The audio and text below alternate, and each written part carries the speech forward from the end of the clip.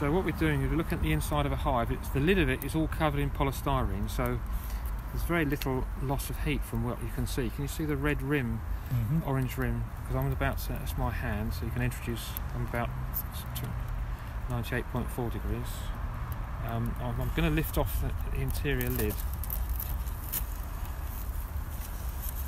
and inside there is the colony. So what temperature is the colony running at on your screen? Sh- showing 20 plus. Yeah. So if you look down there.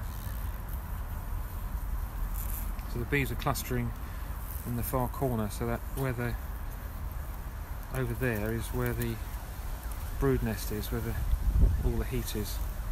And as we get further away over to this side, there's the heat drops off.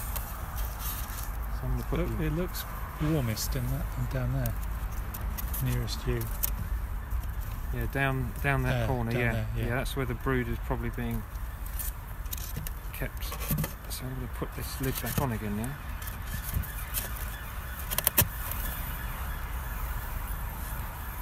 Right.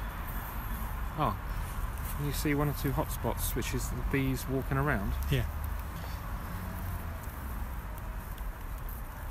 There's a few, one or two bees that have left the cluster, and they're at, the same temperature as the colony. So that bee wandering around there would be at around 25 degrees, 20 degrees centigrade body temperature. Yes, you can't hmm, can't measure it with this. Right, that's it then. Okay. Yeah.